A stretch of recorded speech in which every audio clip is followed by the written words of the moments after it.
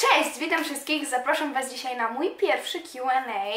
E, prosiłam Was, żebyście mi zadawali pytania na Insta Stories na Instagramie i uzbierało się ich troszkę, więc co, zaczynamy. Tutaj złożyłam wiele pytań ze sobą, dlatego że wiele z Was poprosiło mnie o wytłumaczenie, jak działa szkoły we Włoszech, e, jakie przedmioty rozszerzam, do której klasy chodzę, do jakiej szkoły chodzę, więc no, odpowiem na to wszystko, się postaram odpowiedzieć na te wszystkie pytania, które zadaliście mi. 3 lata przedszkola, następnie jest 5 lat podstawówki, bez żadnej zerówki, bez niczego, po prostu jest 5 lat podstawówki po przedszkolu od razu. Następnie są znowu 3 lata gimnazjum i po tych 3 latach gimnazjum zaczy- zaczyna się 5 lat liceum. Może to się wydawać może dłużej albo krócej, ale naprawdę kończy się szkołę w tym samym wieku, co kończą polscy uczniowie. Ja e, w tym momencie chodzę do drugiej liceum i jestem w tak zwanym chyba w Polsce ekonomiku. Wybrałam tę szkołę właśnie dlatego, że lubię takie przedmioty jak matematyka, ekonomia. Nic nie rozszerzam, bo u nas nie ma rozszerzania. Wybierasz szkołę z tymi przedmiotami, które Ci się podobają i robisz te same przedmioty przez 5 lat. Nic Ci nie odejmują, nic Ci nie przybywa. Mogą oczywiście w pierwsze dwa lata być takie przedmioty jak na przykład jak historia i geografia później odchodzą y, po trzeciej klasie, ale to nie Ty wybierasz, tylko w zależności od szkoły i Ty wybierasz tą szkołę, która najbardziej Ci przypada do gustu. E, drugie pytanie. Dużo z Was pytało mnie się, czy będę nagrywać vlogi i tak, będę nagrywać vlogi oczywiście. Ja uwielbiam oglądać vlogi na YouTubie, najbardziej chyba nawet lubię oglądać vlogi, e, więc tak, oczywiście nie mogło zabraknąć na moim kanale. Już zamówiłam taki statyw e, do trzymania aparatu w ręce i będę nagrywać na pewno. Kiedy znowu polecisz do Polski albo Luka do Ciebie? E, to jest pytanie, które również się pojawiło mnóstwo, mnóstwo, mnóstwo razy. I e, nie wiem, ja na pewno do Polski polecę chyba, albo pojadę e, latem, a Luka do mnie. A pewnie też spotkamy się już w wakacje. W jakim wieku zaczęłaś się malować? Ja szczerze mówiąc, e, bardzo szybko zaczęłam się malować, ale dlatego, że po prostu właśnie jak ja wam mówiłam, tak byłam malutka, to siedziałam na tym YouTubie godzinami i oczywiście było pełno takich filmików i nadal jest pełno takich filmików jak My Makeup Routine albo moje kosmetyki, moja toaletka, e, moja kolekcja szmilek, takie różne rzeczy i po prostu mi się to tak spodobało, że zaczęłam powoli, powoli sobie coś kupować albo brać na przykład od mamy i tak po prostu się malowałam, ale ja się nie malowałam dlatego, żeby zakryć coś. Em, Nie, wręcz przeciwnie, bo szczerze mówiąc, nie mam kompleksów związanych z moją twarzą, e, wręcz przeciwnie, e, mogłabym codziennie wychodzić bez makijażu i tak to nawet było, bo nie chodziłam do szkoły pomalowaną oczywiście, jak byłam w gimnazjum czy gdzieś tam. Tak było, że po prostu ja się malowałam i później zmywałam wszystko, bo musiałam gdzieś wyjść. Teraz niestety, jak już jestem troszkę starsza, to jest też drugi powód tego mojego malowania, po prostu mam problemy ze skórą, bo jestem w takim wieku, gdzie te problemy ze skórą się pojawiają i po prostu nie chcę wychodzić na miasto i straszyć. Ale nie stać dlatego, że się sobie nie podobam. Po prostu staram się to zakrywać. I jeszcze do tego oczywiście dochodzi fakt, że uwielbiam się malować, więc to mi wcale nie przeszkadza. Jak są takie dni, w których mam gładziutką skórę, to nie ma nawet mowy, żebym ja coś nałożyła na tą skórę, dlatego że ja się tak cieszę, jak nic nie mam na buzi, że mogę wyjść niepomalowana, że mogę wstać i pójść do szkoły niepomalowana, wyjść po południu niepomalowana. Dlatego, że ja się nie wstydzę mojej buzi i nie dlatego właśnie się maluję. Ulubiona polska potrawa. Mm, chyba dwie mam takie ulubione potrawy polskie. To są oczywiście pierogi. Kocham pierogi, szczególnie te ruskie. E, A drugą potrawą to jest chyba taki, taki kotlecik z ziemniaczkami i z jakimś warzywem na obiadek u babci. Naprawdę uwielbiam to, jak jestem w Polsce. Gdy podchodzi do ciebie fan, fanka i chce się przytulić, to jak reagujesz? Uwielbiam cię. Szczerze mówiąc nie wiem, bo nigdy mi się to jeszcze nie zdarzyło. E, Raz tylko mi się zdarzyło nad Soliną chyba, jak byłam w moim w rodzinnym mieście mojego taty i podeszła taka do mnie dziewczyna i spytała, czy może zdjęcie. E, I szczerze mówiąc, byłam taka zestresowana, nie wiedziałam, co zrobić właśnie na zdjęciu, wyszłam chyba taką. I e, no, to było dla mnie takie, wiecie, taka nowość. Nigdy nie spodziewałam się, że ktoś będzie chciał w życiu podejść do mnie zrobić ze mną zdjęcie. Więc no, jeszcze nikt mnie tak naprawdę nie przytulił, więc nie wiem, ale Wiem, że pierwszy raz jak ktoś mnie poprosił o zdjęcie, to byłam okropnie zestresowana. W którym języku najpierw nauczyłaś się mówić? Nauczyłam się najpierw mówić po polsku, dlatego że rodzice chyba tak zdecydowali i teraz naprawdę bardzo, ale to bardzo się cieszę z tego ich wyboru, dlatego że wiem, że jakbym ja się najpierw nauczyła włoskiego, to bym już polskiego nigdy w życiu się nie nauczyła, albo to by było takie jak większość dzieci, że rozumiem to, co moi rodzice do mnie mówią, ale ja odpowiadam w innym języku. To bardzo często się dzieje u dzieci, dlatego że po prostu się wybiera ten łatwiejszy język i już dzieci po prostu dadzą radę się nauczyć tego trudniejszego. Polski jest naprawdę okropnie trudnym językiem. Jak widzicie nawet teraz, to ja po 15 latach nie mówię wcale perfekcyjnie po polsku, wręcz przeciwnie. I często się łapię, na przykład jak montuję teraz te filmiki, że mówię, mówię po polsku, jak coś mi nie wychodzi, to ja mówię o Madonna po włosku. Bo mi po prostu jest łatwiej to powiedzieć. E, bo po prostu włoski jest o wiele, wiele łatwiejszy. Całe szczęście nauczyli mnie najpierw polskiego, więc jak ja już umiałam polski, rozumiałam, mówiłam po polsku, to wtedy poszłam do przedszkola i nauczyłam się włoskiego. I poszło wszystko z górki. Ulubiony film, bardzo dużo filmów lubię. Moje chyba dwa ulubione filmy to jest oczywiście Titanic, bo Titanica kocham, uwielbiam, mogłabym go oglądać 550 razy. A następnym filmem to jest e, film, który obejrzałam miesiąc temu z Luką, jak był u nas we Włoszech, pokazał mi on ten film i to jest naprawdę cudowny film. Po obejrzeniu tego filmu, to ja o tym filmie myślałam przez następne 5 dni, naprawdę mega był i się nazywa chyba Passengers i jest też na Netflixie. I teraz ulubione seriale. Bardzo dużo osób mnie o to prosiło po pierwszym filmiku, jak powiedziałam Wam, że uwielbiam seriale, więc yy, mam kilka seriali moich takich ulubionych, których, które kocham. Pierwszy to jest oczywiście Friends. Friends, więc przyjaciele chyba po polsku. E, obejrzałam 10 sezonów razem z moją mamą. Kocham Friends, naprawdę uwielbiam. E, I tak mi było przykro, jak się to skończyło, jak oni idą korytarzem, już się nie odwrócili już z dziećmi, już po ślubach i o, okropne to było. Ja sobie wyobrażam, że oni jeszcze sobie tam gdzieś żyją, że jest Rachel, Monika, Chandler, oni sobie żyją. Już są starzy z dziećmi, yy, ale nie aktorzy, tylko naprawdę postacie. Naprawdę to jest okropne, jak się twój serial ulubiony kończy. Następnie e, mam Jane the Virgin. Uwielbiam ten serial i nie mogę się doczekać. Już czekam na następny sezon od chyba roku i nie mogę się doczekać naprawdę jak wyjdzie następny. We Włoszech tutaj nikt nie obejrzał Jane the Virgin, zdajcie sobie z tego sprawę. W, e, w Polsce wiem, że bardzo dużo dziewczyn ogląda ten serial, bo to jest bardziej taki właśnie dziewczęcy serial, ale we Włoszech nikt. I przekonałam, całe szczęście przekonałam jedyną moją koleżankę i sobie teraz powoli to ogląda. Ale wiecie, że we Włoszech naprawdę nikt nie obejrzał tego? No ja nie rozumiem, przecież Netflix to jest taki sam, jest i we Włoszech, i w Polsce. A jakoś we Włoszech to wcale nie poszło, więc wiem, ale ja naprawdę uwielbiam Jane the Virgin. Jest cudowny, taki mega, to mega, mega wciągający i naprawdę nie mogę się doczekać, jak już wyjdzie następny sezon. Następnie mam Once Upon a Time i to chyba po, po polsku będzie dawno, dawno temu. Kocham go również. Jestem na szóstym sezonie, a jest ich siedem, więc no, zaraz go skończę. I e, naprawdę uwielbiam go, to mi przypomina naprawdę dzieciństwo, tak jakby wszystkie bajki Disneya, które ja oczywiście czytałam jak byłam malutka. Naprawdę fajnie jest oglądać taki teraz serial, który jest dla dorosłych, ale mimo wszystko mówił właśnie o tych e, bajkach. Myślę, że o żadnym nie zapomniałam chyba. Później oczywiście obejrzałam dużo, dużo, dużo seriali, ale te najbardziej mi się spodobały i właśnie ostatnie to jest Gossip Girl. Gossip Girl kocham, uwielbiam. Jestem dopiero na trzecim sezonie, bo we Włoszech wyszedł niedawno na Netflixie, chyba w Polsce też.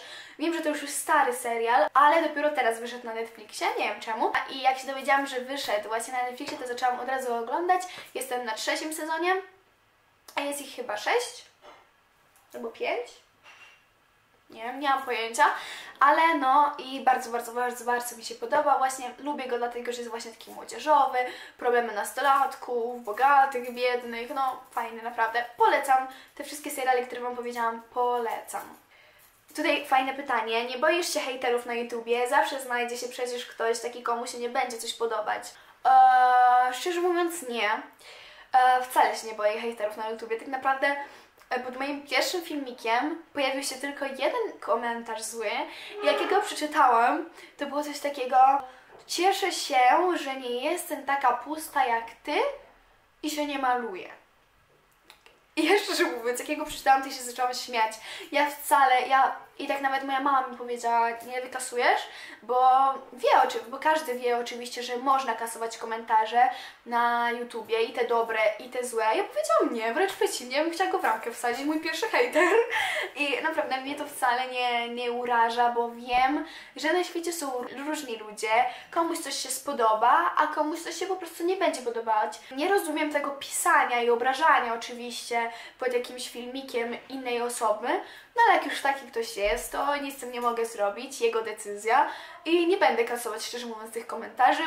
Może jak kiedyś się znajdzie jakiś komentarz, którego bym, którego bym nie chciała mieć pod swoim filmikiem, jakichś naprawdę chorych ludzi, bo kiedyś taki dostałam i to nie było naprawdę fajne. Człowiek, który powinien się chyba leczyć, ale na Instagramie, ale to nieważne. A więc nie, nie będę kasować właśnie tych takich hejterów, bo wcale mnie to nie uraża, a wręcz przeciwnie, nie można się podobać wszystkim, więc nie, nie, nie boję się hejterów. E, I tutaj było wiele pytań o Aleksie, ile, jest między nami lat różnicy, do jakiej szkoły chodzi Aleks? I ile już jesteśmy razem, jak się poznaliśmy, więc odpowiem na te wszystkie pytania szybciutko. E, on jest starszy ode mnie o rok, tylko jeden rok. E, chodzimy do tej samej szkoły i poznaliśmy się po prostu w naszym miasteczku, bo jak wiecie, my mieszkamy w małym miasteczku i każdy się zna. Ja praktycznie Aleksa znam od dzieciństwa, bo mieszkał blisko mnie i ja pamiętam jak się bawiłam, jak miałam może, nie wiem, z 4 latka, bawiłam się z nim na podwórku. E, a, było jeszcze pytanie, jak moi rodzice zareagowali na Aleksa? Dobrze, bardzo dobrze, dlatego, że nasi rodzice się znali, bo jak mówię, mieszkaliśmy blisko siebie. Um, tylko babcia tak naprawdę, no ale przyjeżdżał cały czas, tam siedział. Mój tata i jego tata pracowali razem ze sobą, więc naprawdę to jest taka rodzina, którą bardzo dobrze znaliśmy. E, Aleksa bardzo dobrze znaliśmy, więc oni naprawdę dobrze zareagowali na niego. Wiedzieli, że jest bardzo dobrym chłopakiem, że jest, e, że nie ma jakichś tam złych myśli w głowie, że jest bardzo taki spokojny, więc naprawdę e, dobrze na niego zareagowali. I co tam jeszcze było o Aleksie? Ile już jesteśmy razem? O, jesteśmy razem rok i trzy miesiące, e, więc no sporo. No i to tyle chyba. Chciałabyś mieć w przyszłości tatuaż? Chyba tak. Nie wiem kiedy go zrobię, ale chyba chociaż jeden tatuaż w życiu będę chciała mieć, ale nie jestem taką fanką dużych tatuaży, wręcz przeciwnie, nie podobają mi się. Chciałabym mieć coś takiego malutkiego, takiego skromnego, ładnego, że czasami się go nawet nie zauważy, czy też książki, jak tak, w jakim języku. Kiedyś czytałam bardzo dużo książek, teraz jakoś mi to, nie wiem, przeszło. Nie mam nawet czasu na te książki, szczerze mówiąc, jakoś mi to nawet nie ciągnie do tego, bo o, oczywiście jakbym chciała tak bardzo czytać książki, to oczywiście bym znalazła czas, ale nawet mi do tego tak bardzo nie ciągnie, ale jak już czytam, to czytam po włosku, bo po polsku mi jest okropnie czytać to jest dla mnie trudne i muszę na jedną, nawet jedną stroną siedzieć godzinami, dlatego że muszę każde słowo powoli przeczytać, dlatego że naprawdę mi jest trudno czytać niestety po polsku, tutaj jakoś się staram, bo wiadomo, wiadomo, to są takie małe zdania, krótkie zdania, ale jak już jest takie cała książka pełna zdań, to jest mi trudno, więc czytam włoskie, dlatego że mi szybciutko to idzie. Dużo osób mnie się też pyta, ile jestem wysoka. Jestem bardzo niziutka. Mam chyba 157 cm wzrostu. No, coś takiego? Jak nie mniej? nie, ale chyba coś takiego, tak. 57, 1,57 m, coś takiego. I tutaj dużo ludzi mi pytało, jak często będą filmy, będą regularnie filmy, naprawdę się za to, za to wzięłaś, yy, co ile będą się pojawiały te filmy, więc tak, ja szczerze mówiąc, długo trzeba było mnie przekonywać, żeby to zrobić, dlatego że po prostu się bałam, się stresowałam i się wstydziłam też nawet, ale jak już się teraz właśnie na to wzięłam, to to będzie wszystko. Regularnie, będę starała się nagrywać filmy jak najczęściej, jak znajdę troszeczkę wolnej chwili, to na pewno będę nagrywała filmiki, będę montowała, naprawdę chcę się za to wziąć porządnie i filmiki będą chyba tak gdzieś co 3 dni, jak nie mniej. E, będzie troszkę pauzy, pojadę do Anglii, dlatego że oczywiście tam nie będę mogła montować, ale będę tam nagrywała, więc jak wrócę, to teraz to szybko sobie zmontuję i wstawię. No, e, tak, na serio się za to wzięłam i bardzo się z tego powodu cieszę. Jakiego typu filmy będziesz nagrywała? Ja bym chciała nagrywać takiego naprawdę tak wszystko e, i bym chciała nagrać jakieś filmiki z Aleksem oczywiście, albo jakieś challenge z moim bratem, takie filmy kosmetyczne może. Dużo ludzi mnie się też pyta po pierwszym filmie, jak powiedziałam, że lubię Simsy.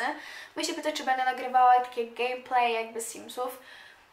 I to akurat nie wiem, by to bardzo dużo ludzi chciało oglądać. Jak będziecie chcieli te filmiki, to piszcie mi w komentarzach, czy takie będziecie chcieli. E, I ja oczywiście, jak, będzie, jak dużo ludzi będzie chciało, żebym nagrywała te Simsy, to oczywiście nie nagram, e, ale właśnie chcę wiedzieć, czy Wam się będą podobały takiego typu filmy. Po jakim języku mówisz w domu? Moi rodzice mówią oczywiście po polsku, bo oni oczywiście się urodzili w Polsce, wyjechali dopiero jak byli dorośli do Włoch, więc oczywiście tym przewodnim językiem dla nich na całe życie zostanie polski. Ja z moim bratem mieszamy, szczerze mówiąc, oni się nas pytają, mamy jedno słowo po polsku, drugie po włosku, jak nam szybciej wychodzi. Bo my nie zastanawiamy się nad tym. Jak mi przyjdzie szybciej jedno słowo polskie, to powiem po polsku. Jak mi przyjdzie szybciej jedno włoskie, jak jedno włoskie słowo, to powiem po włosku po prostu. My na tym się nie zastanawiamy, to dla nas są dwa języki. Dla nas nie istnieje jeden język, dla nas istnieją dwa języki. I e, właśnie jak nam łatwiej, to tak mówimy. E, Mimo, że e, dużo z Was przyszło z kanału Luki, to mnie się pytacie, czemu mówię na Lukę brat, na mnie siostra, czemu mieszkam w Polsce, we Włoszech, a czemu mieszka w Polsce, kim jest dla mnie Nikola, czy Edyta jest moją e, mamą. Takie głupoty. E, Ja na Lukę mówię brat i on na mnie siostra, tak samo jak Alessandro mówi na niego brat i Luka również brat na niego, dlatego że po prostu jesteśmy bardzo, bardzo, bardzo ze sobą związani i traktujemy się po prostu jak brat z siostrą. A i również dlatego, że po prostu z naszych stron, skąd pochodzimy w Polsce, na kuzynów się mówi brat i siostra cioteczna. Tak po prostu na siebie mówimy brat i siostra. Mamy inne mamy, jesteśmy kuzynami. Moja mama jest siostrą Edyty, więc Edyta jest moją ciocią. Moja mama jest ciocią dla Luki. I tyle. Moja mama się przeprowadziła do Włoch. I tyle. Ja mieszkam we Włoszech oczywiście z moją rodziną, Luka mieszka ze swoją. Jesteśmy kuzynami i mówimy dla siebie brat i siostra. Tyle, koniec. Nikola jest już dla mnie siostrą cioteczną, y, kuzynką. Bardzo dużo osób mi się pytało, jak ja mam kontakt z Alessandrem i nie rozumiem szczerze mówiąc tych pytań, dlatego że no jaki mam mieć kontakt? To jest mój brat, mój braciszek, uratował mnie od bycia jedynaczką, e, kocham go normalnie, to jest mój brat. Tyle, nie wiem naprawdę czemu jest tak dużo pytań. Następne pytanie, czy chciałabyś mieć jeszcze rodzeństwo, bo ja jestem strojaczek i bym nie chciała. Oczywiście, że bym chciała mieć jeszcze rodzeństwo. Marzyłabym o takiej malutkiej jeszcze siostrzyczce albo braciszku, takim bobasku w domu, ale to chyba już nie będzie możliwe. E, bardzo uwielbiam duże rodziny i nawet w przyszłości chciałabym mieć na pewno nie tylko jedno dziecko, może nawet nie dwa. A wiem, że jest bardzo trudno utrzymać takie rodziny. Marzy mi się taka duża rodzina. Na Instagramie takie zdjęcia z dziesięcioma dzieciakami, to uwielbiam je naprawdę. Jak Twoi rodzice zareagowali na to, że nagrywasz na YouTubie? Szczerze mówiąc bardzo dobrze, dlatego że po prostu oni mnie razem z Luką, szczególnie moja mama, namawiali do tego, żebym otworzyła po prostu ten kanał. Ostatnie pytanie. Jesteś pesymistką, optymistką, realistką? Jakie jest Twoje podejście do świata? Przejmujesz się wszystkim czy nie? Eee, szczerze mówiąc, więc pesymistką na pewno nie jestem. Eee, I szczerze mówiąc, nawet nie lubię takich osób. dlatego, że po prostu Chyba jestem optymistką, dlatego że z każdej sytuacji staram się zawsze znaleźć jakąś dobrą rzecz, e, jakiś fajny powód e, i wierzę też również w przeznaczenie, że jak to się przydarzyło, to musi być coś dobrego związane z tym. No nie wiem czemu, szczerze mówiąc. Zawsze staram się właśnie znaleźć jakąś dobrą rzecz z, z każdej sytuacji. Więc to już jest wszystko. Odpowiedziałam naprawdę na dużo pytań i właśnie starałam się odpowiedzieć jak na najwięcej. I bardzo się Wam dziękuję, że zadaliście mi tyle pytań na Instagram. Nie wierzyłam tak naprawdę, myślałam, że będą trzy pytanka, a naprawdę jest ich masa, więc naprawdę bardzo, bardzo Wam dziękuję. I co? Zostawiajcie lajka, subskrybujcie mój kanał i komentujcie pod spodem. My już się widzimy w następnym filmiku. Pa!